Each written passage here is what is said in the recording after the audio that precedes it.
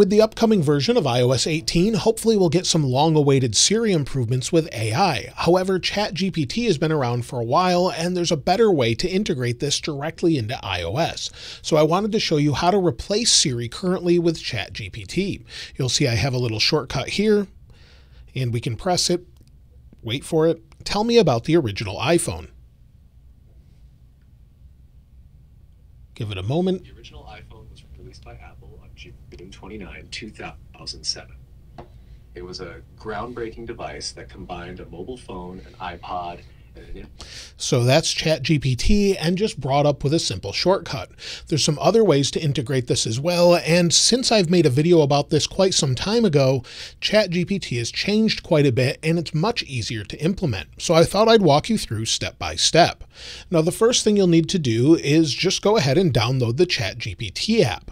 So you'll see here, it's just available for free. And then once you've downloaded it, you'll need to set up an account and then sign up for it. Now, there is a free tier and a premium tier, and the premium tier will give you access to additional features and more queries. So you may be limited to specific amounts of queries that you can ask ChatGPT about. However, you will be able to use it as long as their servers are not too busy. Now, once you've downloaded that, if you have an iPhone 15 Pro or 15 Pro Max with an action button, you can simply create a shortcut and assign it to the action button. So let's first create a shortcut. Once you have the app, everything's set up, ready to go. Now all you need to do is create a shortcut like this one. So if we go back and we go into shortcuts, let's go ahead and add one and I'll walk you through step by step. Add an action, then just type chat GPT. So you'll see there's ChatGPT. It will pop up if you have the app, and then you'll have a couple actions. You can ask ChatGPT or start a voice conversation. You can pick whichever you'd like. I tap on Start a Voice Conversation so that we can get some more information. Now we can rename it here. We'll just rename this to Better Siri. There we go. And then tap Done. So now we have ChatGPT 4, which is the official name, or Better Siri.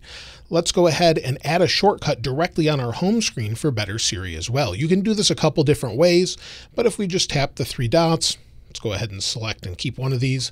We'll go in and tap the down arrow here, and then tap Add to Home Screen. Once we've added it to home screen, we can actually select what we want it to look like and everything else. Just pick something that works for you, maybe change the color, whatever works, tap add, and now it's on your home screen. So you can quickly access it this way. Just tap on it. Tell me about the iPhone 3.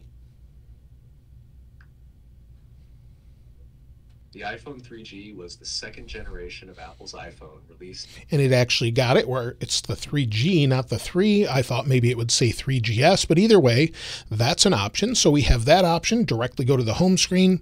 Again, if you have an iPhone 15 Pro or Pro Max, go into your settings, go to action button, then go to shortcut, and then just select the shortcut you want it to use. So we'll select Better Siri, and then once we go in, press and hold the action button, Tell me about the iPhone 14 Pro Max. It takes a second, connects. The iPhone 14 Pro Max, released by Apple, is a flagship smartphone that features. So it works just like you would expect. You can tap the X, read through all of it, and it tells you about all that information. Another way you can trigger ChatGPT directly from your phone, you may have seen at the beginning of the video where I just tapped on the shortcut on my lock screen.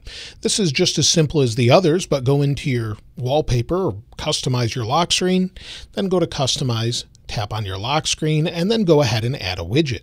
Scroll down to where you have shortcuts, and under shortcuts, just simply add one. Now you'll need to change this to which version of a shortcut you want to use. Just tap on it, and then it will bring up all your shortcuts. So then just scroll down to what you have as far as your shortcut you want to use. So we have Better Siri, tap on Better Siri, now it should work. So we'll get rid of the other one.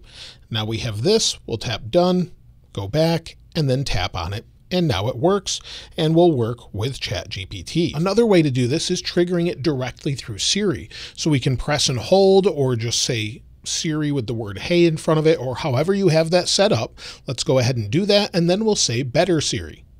Better Siri. Tell me what makes the iPhone 15 Pro Max better than the other iPhones. There we go, and it's triggered. iPhone 15 Pro Max has several features that make it stand out from other iPhones. And then you can see all of the different information, and it gives you much better information than what we had with Siri itself. Now, future versions of Siri could include much better enhancements to what we already have, but this way you can just use ChatGPT directly from Siri, your action button, a shortcut on your home screen, or something else. And some other updates or features we're expecting with iOS 18 have already made it into a browser that I really enjoy using called Arc Search. Arc Search you'll see up here, which I'm going to make it my main browser. If we go into it, you'll see we can say iPhone 15 Pro, Pro Max, and then say browse for me. It will then generate, using AI, all of the relevant information that relates to iPhone 15 Pro Max with the design, display, camera, battery, and more. This is a free app that's available in the App Store and something that I really enjoy using. You can even use it to search the same way by bringing it up to your face and asking it questions. On the main screen again, if we search, just bring it up to your face, that will trigger it. And now you can actually search the same way directly through Arc Search. So this is something that's really great. We're seeing AI integrated into many different apps and different applications. We can of course use it with ChatGPT 4 and shortcuts. So hopefully that helps you get things working a little bit better instead of using Siri where you get some disappointing answers from time to time. This could get much better with iOS 18, but that hopefully helps you walk right through that directly. I'll leave links to both the shortcut and all of the apps I talked about in this video in the description below. Of course, I'll link this wallpaper in the description like I normally do, and if you haven't subscribed already, please subscribe, and if you enjoyed the video, please give it a like. As always, thanks for watching. This is Aaron. I'll see you next time.